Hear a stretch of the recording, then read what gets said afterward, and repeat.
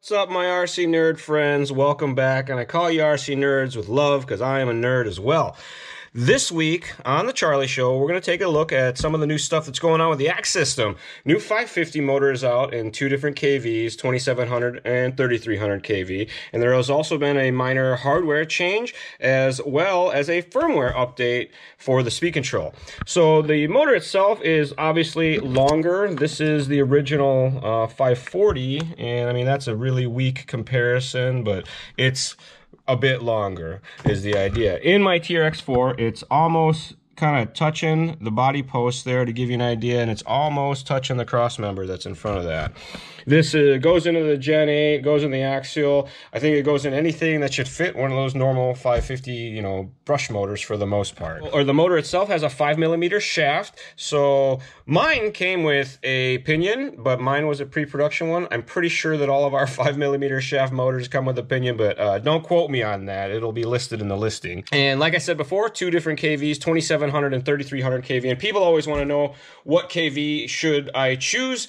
And there's not a ton of difference in torque. It's just the speed more than anything else. So if you're going to do more go fast stuff than uh, climbing, the 3300 is the way to go. If you're more worried about runtime and stuff like that, 2700 is the way to go. But still, these are more of a rock racer motor than something like this because it makes this thing rip. It wants to do wheelies and it's super fast and it's a real good time to drive. So uh, really livens things up. I was uh, very pleased when I dropped this thing in there and drove it around the first couple of times. On to the, the updates for the speed control. Obviously, you can see there's a fan on top. So we got fan mounts going on there, but there is no place to connect that to the speed control. So you get the fan on the wire and it plugs in to the receiver itself. So for my setup, I haven't used the fan yet. I haven't needed it. This truck isn't very heavy, obviously. So, but for more of the heavy duty rigs, you're probably gonna have to be prepared to put the fan in there. The big changes to the firmware updates are the punch has been addressed. You know how when you get on the throttle, it doesn't snap. It's got what I always call the tape delay, and it's real good for trailing.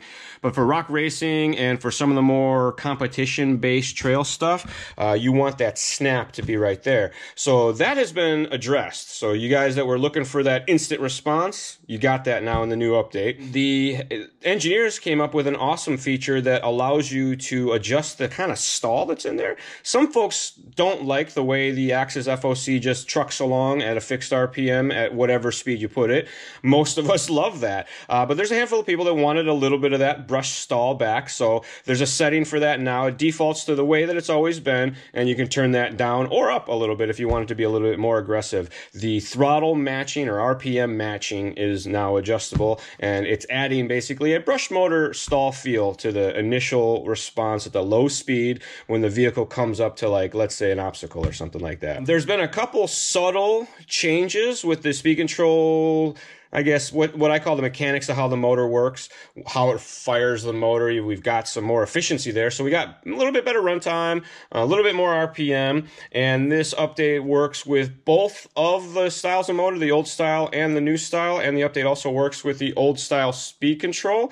The only topic that comes up if you're thinking about putting, you know, swapping motors around, the 550 motors are intended to work with the 1.1 version hardware speed control.